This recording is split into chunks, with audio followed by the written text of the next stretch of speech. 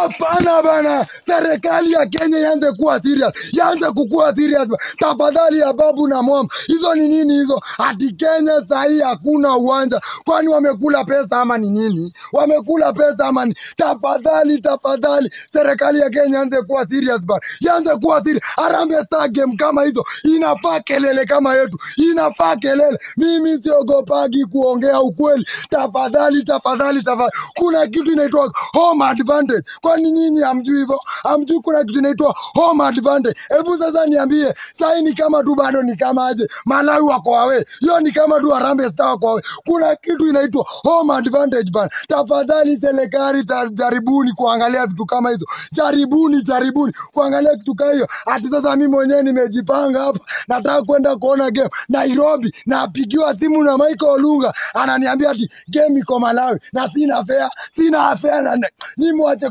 kutupepa ujinga bana. Mi nakwambia Harambee Star inataka kuwa na home advantage ba. Tafadhali ya babu na mama, mambo na uwanja shughulikia mapema bana, shughulikia mapema juu AFCON lazima inakuja hapa Kenya, na hiyo AFCON tunachukua kichwa ngumu, mpende msipende. So ababu na mwamba, tafadhali shughulikia mambo ya uwanja bana. Wow.